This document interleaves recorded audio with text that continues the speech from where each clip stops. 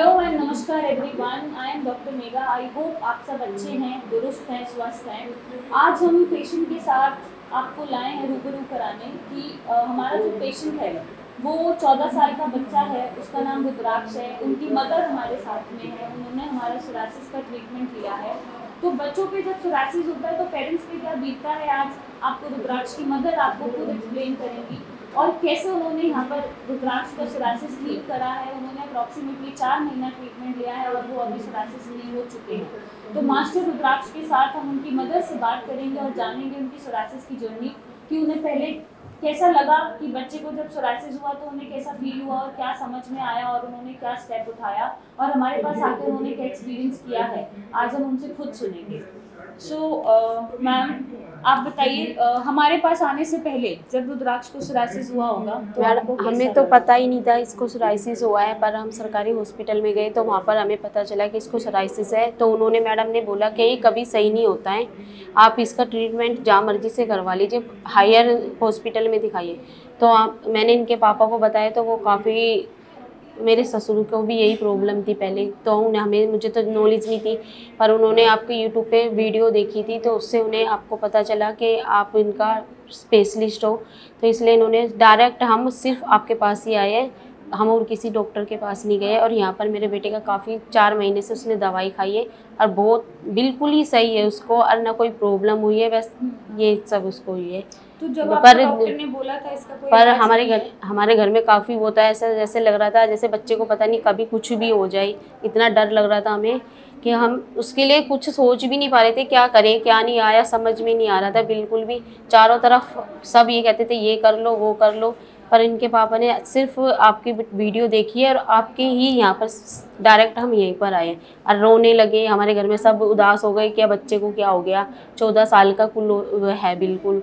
ना इसका पढ़ाई का फ्यूचर जैसे माँ बाप सोच के रखते हैं, भाई हमें ये भी करना है, वो भी करना है।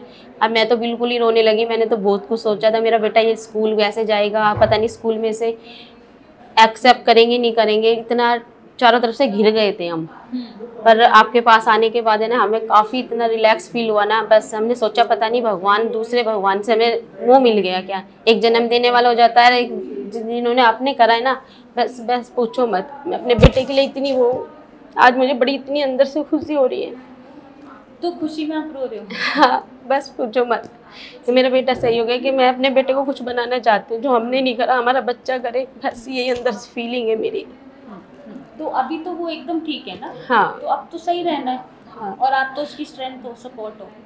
ठीक है?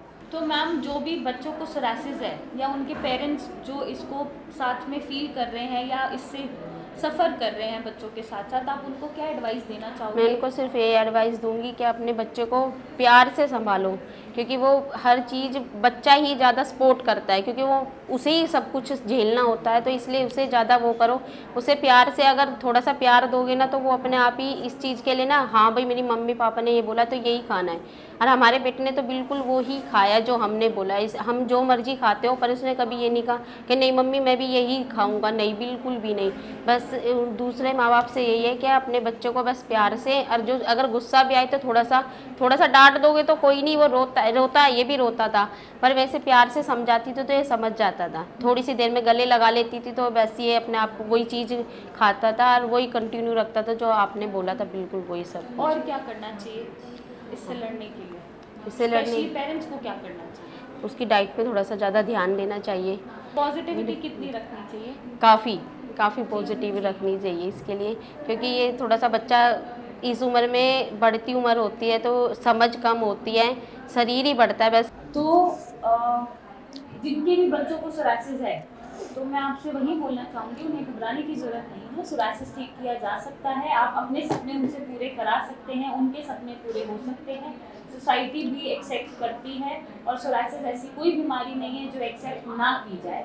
सोरासिस सिर्फ़ एक स्किन ऑटोम्यून डिसऑर्डर है। एक्सेप्टेंस लाना आपके ऊपर होता है कि आप कितना उसे एक्सेप्ट कर रहे हैं और कितने पॉजिटिवली उसको आप फाइट करके उसे ठीक कर रहे हैं। तो अगर आपको सोरासिस है तो आप नीचे दिए गए नंबर पर अपनी फ़ोटोज़ भेजिए हमसे कंसल्ट करिए, हमसे आके मिलिए और अपने सपने साकार करिए सोरासिस को ठीक करके। So thank you and take care